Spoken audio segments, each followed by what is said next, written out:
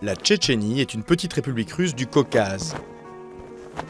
Son histoire est marquée d'une part par la lutte contre les Russes, qui dure depuis le 19e siècle.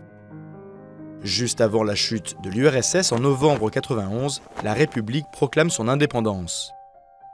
L'armée russe intervient en décembre 94, c'est la première guerre de Tchétchénie qui s'achève en 96 par le retrait des troupes russes et une indépendance de fait de la République. En octobre 99, les troupes russes entrent à nouveau en Tchétchénie. La capitale Grozny est reprise en février 2000. En avril 2009, Moscou déclare la fin de l'opération antiterroriste malgré la poursuite de la rébellion. Les guerres auraient fait 9000 morts de source officielle, mais selon l'ONG Memorial, le seul deuxième conflit aurait tué entre 15 et 25 000 civils. L'histoire de la Tchétchénie est aussi marquée par l'islam, implanté dans la région dès le XVIIIe siècle.